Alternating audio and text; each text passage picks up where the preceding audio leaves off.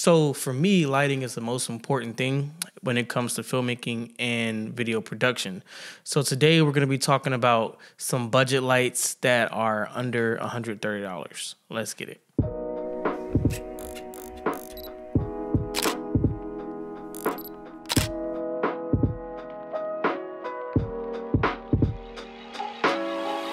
So today we're talking about the Viltrox um, bicolor lights. They are 10 inch circle lights. Um, you get three in this kit and this costs for like around 125 from the, me recording this video. So we're gonna see if these lights are any good and if they can compete with my Amaran 200D and my Godox lights. But you get three in the kit. Now the lights that I'm using now, oh man, uh, I think the Amaran is like 299 and this kit was like three something. So yeah, you, but I can't really compare it with these lights because they're a they're wireless and they are bike and they're RGB W. Um, but these are the lights right here. They're in this plastic. Let me get these open. So I haven't done any real research. I mean, I've used these lights a long time ago. Their older version, and they were, um, from my experience from using the older, the older model ones, they were the rectangle ones, the square, whatever. They weren't that bright, and um, you had to really take all three of them and blast it in order to get like a good exposure if you wanted to, you know, if you didn't have a really fast lens. But this is the back of it.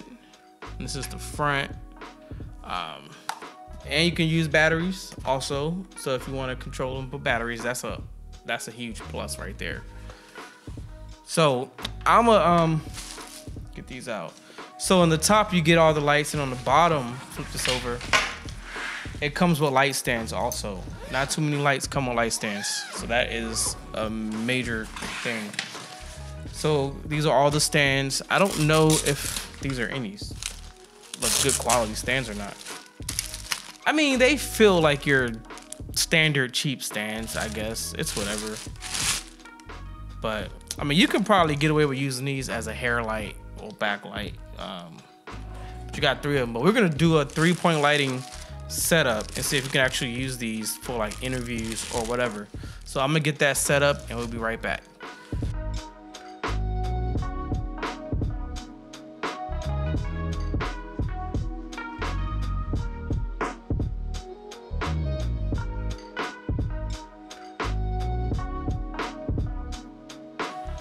So I just have one light setup and it's right here out of frame. I did not change any of the um, settings on the camera. I left everything the same. Um, I know my Amaran is is usually at 10% when it's right here, and that's like the camera settings that I like that I want with the native ISO, the aperture that I like, and the shutter speed on the on the Sony. Um, I have to have my light set to like 10% because that's a massive light and it's bright. And I can tell off bat like um, it's a softer light source because I have a light dome on it. Now these lights don't seem that easy to uh, modify.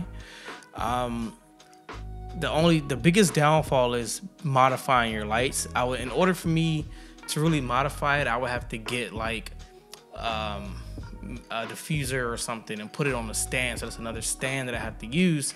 And then I'm gonna have to like probably blast another light to go with it to you know just to compensate for losing a couple stops of light because this is at 100% and i don't i can't tell if it's exposed or not but we about to find out okay so i just looked at the footage and it is i mean it's not a terrible light again i've made these work before um but from my experience, these lights don't give you that soft look you're going for. Um, cause it's not it's not a big light source. And again, if you wanna and when you start modifying lights, you start to lose a lot of that light.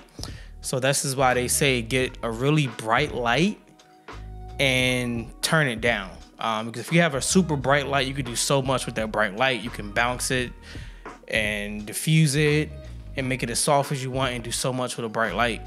Um, but if you're on a budget, then you can definitely get started with these. I added another one over here just to, you know, soften up that harsh shadow that was on this side of my uh, face. But, um, but yeah, if you usually what you can do is you get one right here is your key light, one over here, and then one behind you. Um, you can make those work honestly. Um, but definitely, if you're on a budget, you can start with these budget lights. Um, if you want something more professional, then I definitely recommend you go with the Godox SL60W. That was my first cob light that I bought, and that has been a beast of a light for at least two, three years now.